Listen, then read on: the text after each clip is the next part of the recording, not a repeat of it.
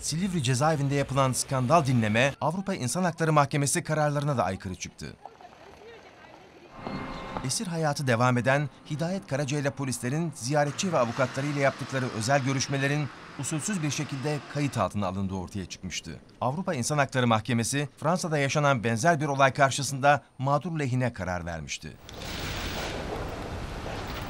Cezaevindeki bir Fransız vatandaşı ziyaretçi odalarına dinleme sistemlerinin kurulması üzerine Avrupa İnsan Hakları Mahkemesi'ne dava açtı.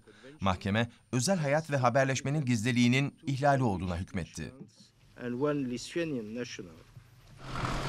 Emsal niteliği taşıyan bu karara Avrupa İnsan Hakları Sözleşmesi'nde imzası olan Türkiye'nin de uyması gerekiyor.